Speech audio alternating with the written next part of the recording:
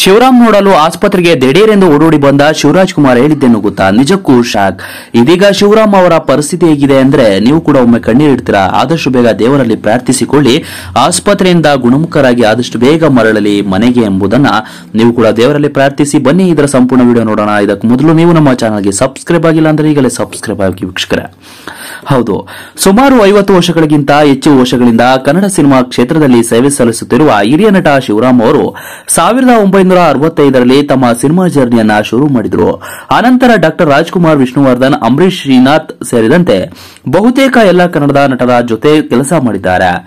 ಅಷ್ಟೇ ಅಲ್ಲದೆ ಶಿವರಾಮ್ ಅವರು ಈಗಿನ ಡ- ಡಿ ಬಾಸ್ ದರ್ಶನ್, ಕಿಚ್ಚ ಸುದೀಪ್ ಪುನೀತ್ ರಾಜ್ಕುಮಾರ್ ಅಜಯ್ ರಾವ್, ಗಣೇಶ್ ಅವರ ಸಿನಿಮಾಗಳಲ್ಲಿ ಕೂಡ ಕೆಲಸ ಮಾಡಿದ್ದಾರೆ.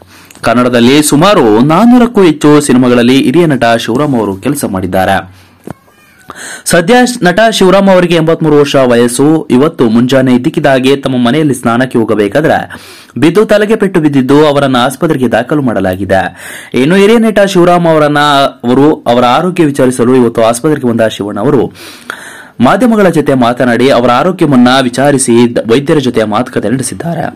ಆದಷ್ಟು ಬೇಗ ಅವರು ಆರೋಗ್ಯದಿಂದ ಗುಣಮುಖರಾಗ್ತಾರೆ ಎಂಬ ಮಾತನ್ನು ತಿಳಿಸಿದ್ದಾರೆ. ಇದೀಗ ಅವರ ಪರಿಸ್ಥಿತಿ ಹೇಳಲು ವೈದ್ಯರು ಕೂಡ ತಳವಡಿಸುತ್ತಿದ್ದು, ಆದಷ್ಟು ಬೇಗ ದೇವರು ಅವರ ಆರೋಗ್ಯವನ್ನ ಸುಧಾರಿಸಿ ಆದಷ್ಟು ಮನೆಗೆ ಬರಲಿ ಎಂಬುದು ಅಭಿಮಾನಿಗಳ ಆಸೆ. ನಿಮ್ಮ ಅನಿಸಿಕೆ, ಅಭಿಪ್ರಾಯಗಳನ್ನು ತಪ್ಪದೆ ತಿಳಿಸಿ ಆದಷ್ಟು ಬೇಗ ಈ ವಿಡಿಯೋನ ಶೇರ್ ಮಾಡ್ಕೊಳ್ಳಿ. ವೀಕ್ಷಕರೇ ಥ್ಯಾಂಕ್ ಯು